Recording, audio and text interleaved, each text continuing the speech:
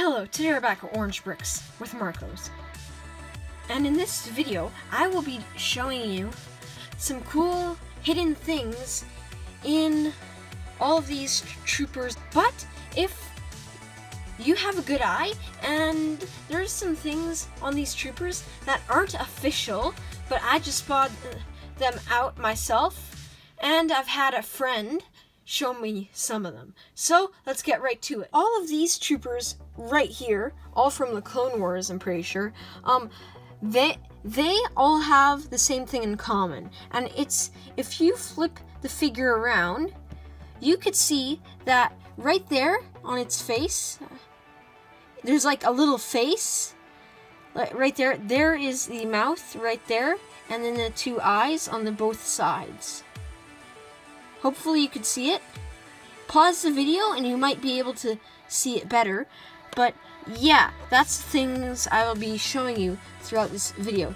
This one has the same one. Looks like this guy has like rosy cheeks because of the black lines on the side. Kind of creepy though. These ones I figured out on myself.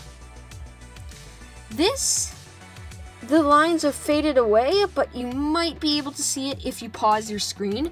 Feel free to pause your screen, screen if you can't, don't notice some of them, because I promise you, you will probably notice them after.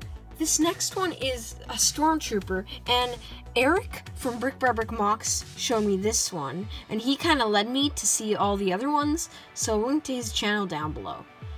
And yeah, there are the two eyes right here and right here, and then you have the mouth right under there.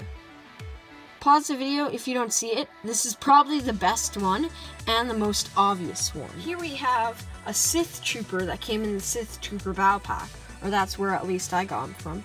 And right here, you can see a face, that black dot on the side, same with on the other side, and then that thick black line right there is his mouth